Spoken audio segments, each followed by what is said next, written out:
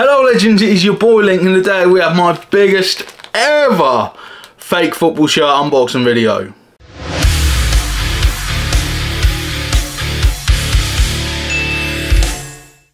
Hey legends, it's your boy Link, welcome back to the channel. You guys love the fake football shirt reviews and um, we had a company called Fofo Shop Free reach out to us and say they were going to send me some shirts to review. I have not been sponsored, I've not received any money from them for this video, I've just been sent a bunch of shirts to tell you my sort of genuine opinion. It's the biggest fake football shirt video ever done. Six shirts in this package. I'm going to turn it so you can see how fat it is but try hide my address. Look at that. Look how thick that is. So there is six football shirts, lots of which I'm excited about.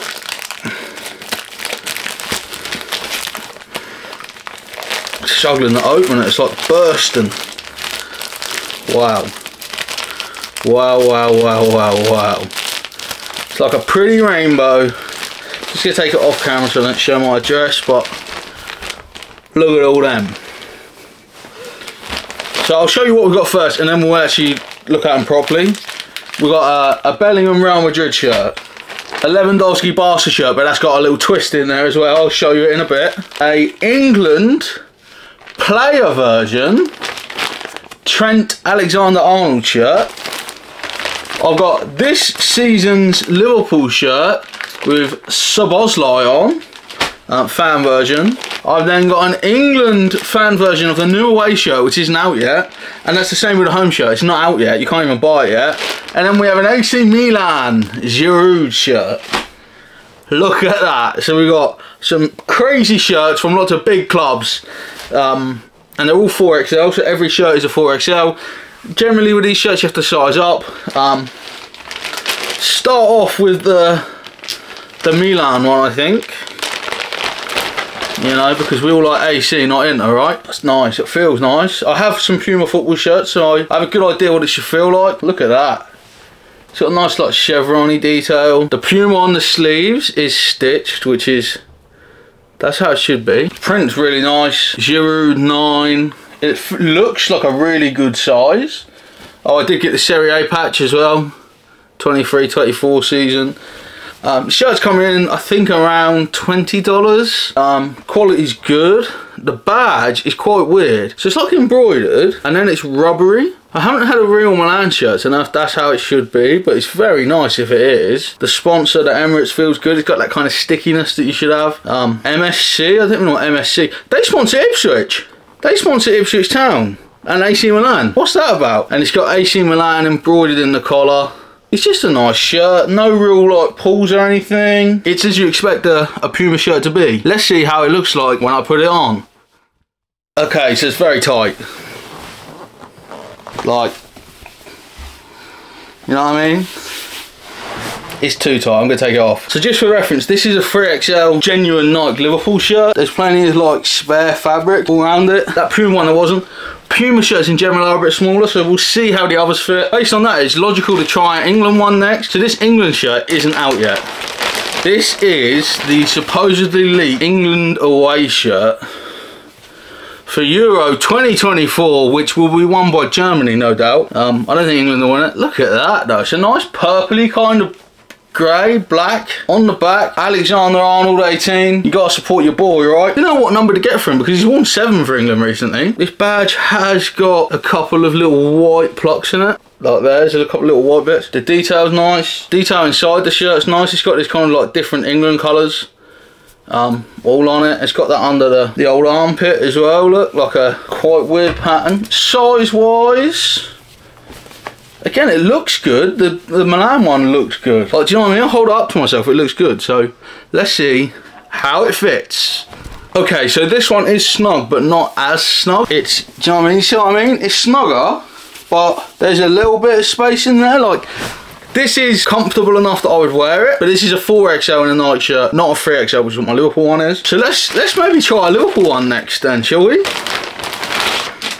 A Dominic Szoboszlai. He spelled the name right, that's always a good sign. So I actually have one of these from DHgate. I've got the Premier League badge, the No Room for Racism. It's got the Expedia on the sleeves. The crest hmm, is good quality, but there is, you know, the little gaps in the birdie wing could be crisper. Like on a real one. Oh, to be fair, it's not as different as I thought.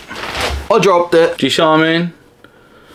I feel like that's fairly alright. I meant to start showing you the, the white one. It's got the 97, the Eternal Flames, and Szoboszlai, number 8. It feels good to have a number 8 shirt again. I don't remember the last time I had a shirt with number 8. It would be back in Steven Gerrard days because I never wanted Keita. I'm happy with that one also, definitely. I went to look for the other shirt, but I've, I've got it on still. Oh, let's just see how the Liverpool one fits me, shall we?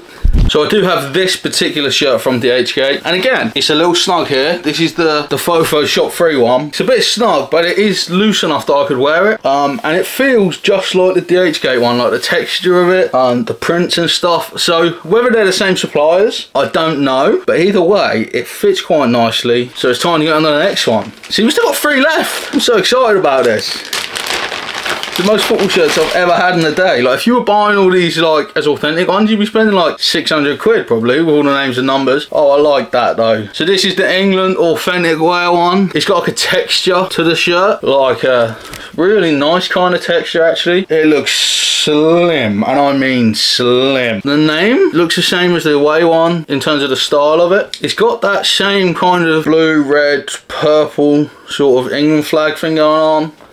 The badge on this one though is like a rubber, kind of like the Liverpool authentic ones, you know, the the player versions. The Nike is also glued on on this one like that, it's not stick. That's how they are on the player versions, because obviously the players want like the lightest, most comfortable sort of shirt they can have. But this one looks the part. I mean, honestly, it looks quality. It's one of the first times I've had a, um, a player version. One thing I will say, there's a dark thread through on the sleeve there, which lets it down, on the neck, sorry, which lets it down a little bit, because this, the neck should have white threading, like the rest of it is all white. There's just one little bit where it's blue, but yeah, it's very, very nice. It's got Alexander Arnold on on the back. Let's see how it fits. So my head's too big. Do I push my head through and risk ripping the shirt or do I... Ugh, it's really tight on my neck. Oh, I've got a big head, that's well known, but oh, it's tight around the neck region. I don't know if the player fit ones are supposed to feel like that, but I don't particularly like it. And um, the bottom of the shirt is barely covering my belly, like it's super snug, which I did expect from a player version, but the quality feels beautiful. Like if you're a smaller size and you can go maybe two sizes up, do it. Because I've gone the one size up and it's not comfortable, but if I lost a stone, I'd probably really like the fit of this, but the head situation, like I was nervous putting it on because it felt like it was gonna rip. I'm gonna change out of this one, I don't like this one. So now let's move on to, I think this is another Nike one.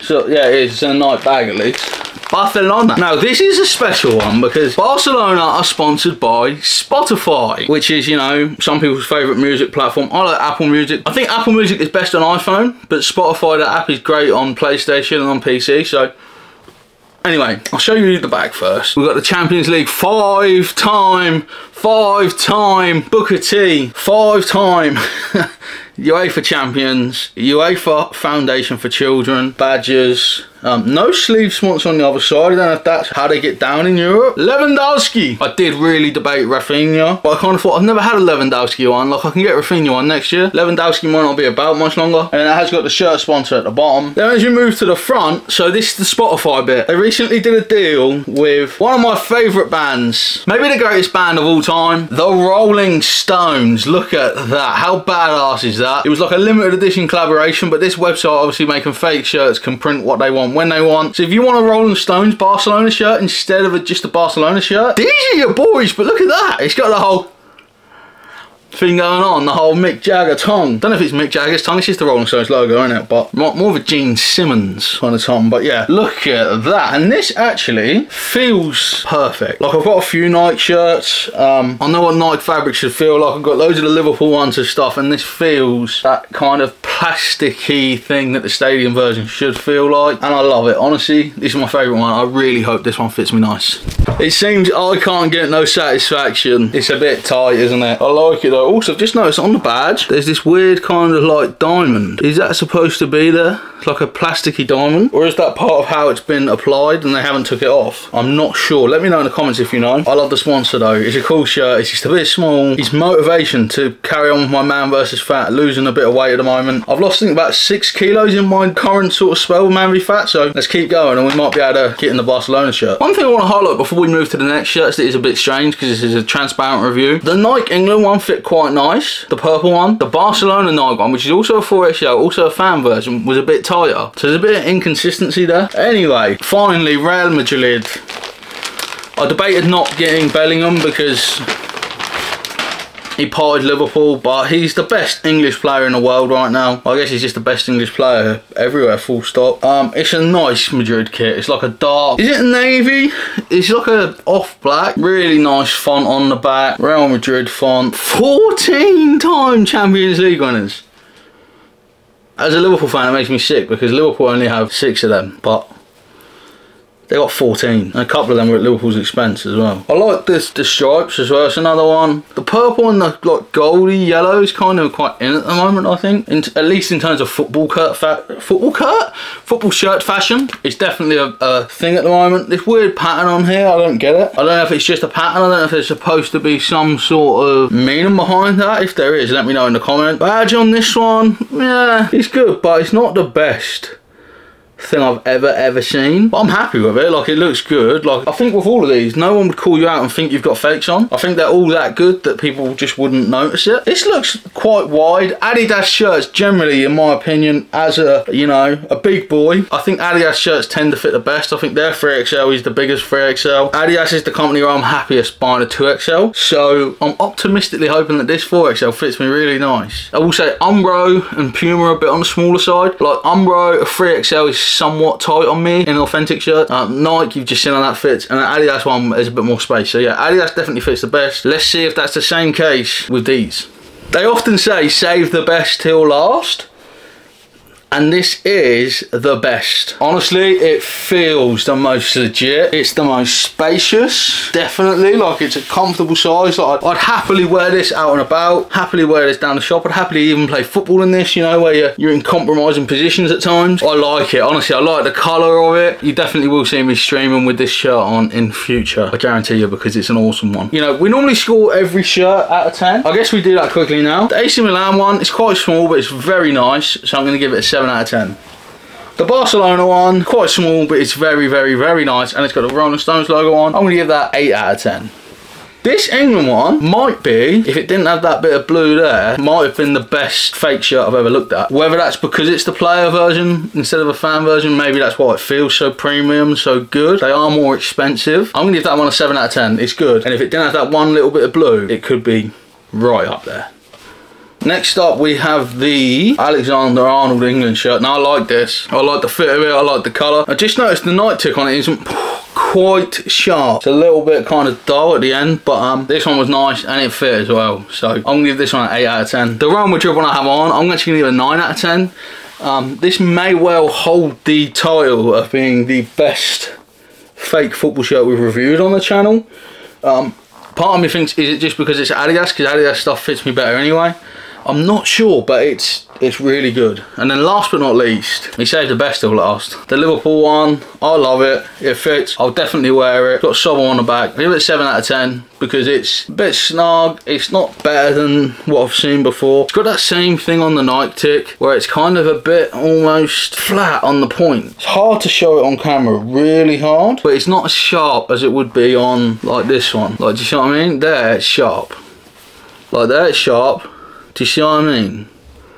Does that show now? I hope it does. I'll try and take a picture that shows it if I can't get it in video format for you. But yeah, they're great shirts. Go check out Fofo Shop. I'm hoping to do a DHgate review of those two New England shirts which aren't out yet. Um, I've also recently found that DHgate has Ipswich Town shirts. I know a lot of you are Ipswich Town fans that watch the channel. If you want to see that, let me know in the comments down below that you want me to make that video and I'll do my best to do it for you. Please subscribe to the channel so you don't miss more football shirt videos. We've done a ton of them already and um, they're always well received. And we also do some like, vlogs and stuff. I booked tickets today to watch Liverpool versus Ajax Legends. If I'd ordered these shirts a week later, I would have had a Henderson Ajax one, 100%, but I ordered them like two weeks ago. It took about two weeks to come, which is quick. Some of these shirts sometimes take three, four weeks. So yeah, this website was, was good server. Again, is that because I'm making a video for them? I'm not sure. So, you know, do your own research as well. But yeah, they're good. They are good. And, you know, know there's a lot of controversy around the fake football shirt thing. Some of the more hardcore football fans get upset about it. But when you think some people have got kids, you know what I mean? You've got two, three kids needing the new football shirts and they're they're 60 70 pounds hundreds of pounds a season especially when you think there's probably three shirts a year. Do you know what I mean? Like if you want the three Liverpool ones they're all like 75 quid. The three of them's going to cost you over 200 pound per person. That's before you put names on which you get included on there and before you put your badges on. It's a rip off really football shirts but you can get some good shirts you know on things like classicfootballshirts.com there is places where you can get like end of season ones you can get like last season shirts like cheaper and authentic. But I feel like kids feel like they have to have this year's. But I don't think their friends will know a lot of the time. But anyway all this is to say is thank you for watching this. Hit the thumbs up if you've enjoyed yourself. I've been Link You've been one of my legends. Thank you for that, and I'll see you all real soon. Thanks so much for watching this video. I really appreciate you. If you click up there, you can watch another video of mine, or if you've really enjoyed yourself, you can go down there, subscribe to the channel, and you can help me on my quest to change this Lego play button that YouTube sent me into a gold one.